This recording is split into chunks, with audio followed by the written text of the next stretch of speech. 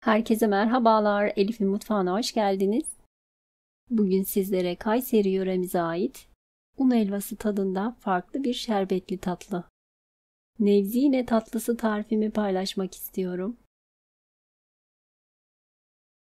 Yeni tariflerimden haberdar olabilmek için kanalıma abone olup zil tuşuna basarak bildirimleri açmayı unutmayınız. Beğeni ve yorumlarınızı bekliyorum.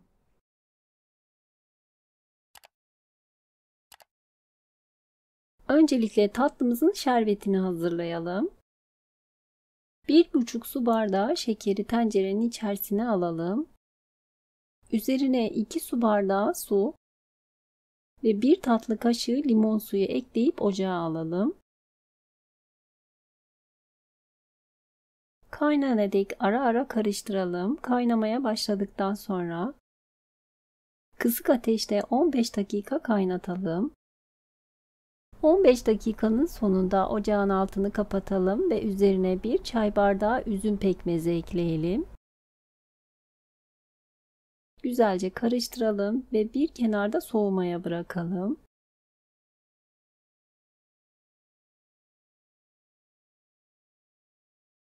Yoğurma kabının içerisine 125 gram margarin veya tereyağı kullanabilirsiniz. Ben her ikisini karışık kullandım. Oda sıcaklığında yumuşamış olması gerekli. Üzerine bir çay bardağı sıvı yağ, bir çay bardağı tahin, sıvı yağ eklediğimiz bardakla tahini eklerseniz kenarlarına fazla yapışmayacaktır gördüğünüz gibi. Ve bir çay bardağı süt ekleyip karıştıralım.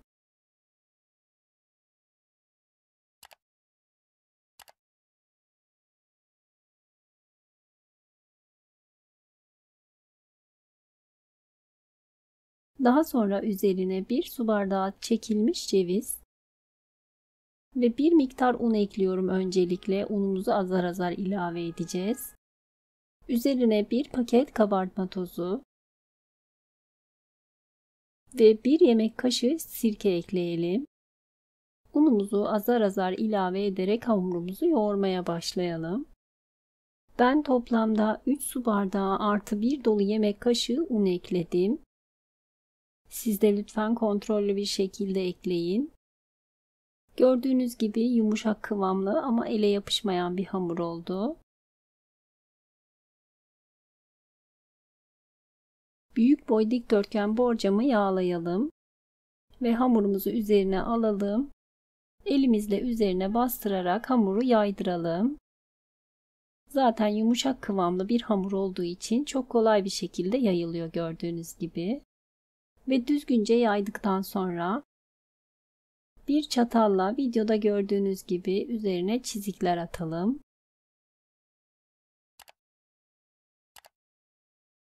Daha sonra 175 derecelik ısınmış fırında orta gözün bir atrafına olacak şekilde yerleştirelim. Yaklaşık 40-45 dakika kadar üzeri kızarana dek pişirelim. Bakın gördüğünüz gibi gayet güzel kızardı ve fırından aldım. Önce ilk sıcağının çıkmasını bekleyelim 1-5 dakika kadar. Daha sonra dilimler halinde keselim. Bakın şu an kıyır kıyır oldu. Keserken bile dağılıyor neredeyse. Ilık tatlımızın üzerine soğuk şerbeti dökelim. Şerbetini çekene dek bekletmemiz yeterli. Ben yaklaşık 1 saat kadar beklettim şerbetin çekmesi için.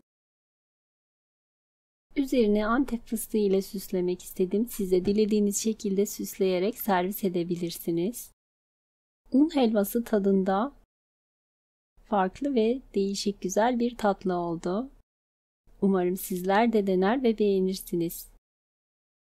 Beğenip ve yorumlarınızı bekliyorum. Videomu izlediğiniz için teşekkürler.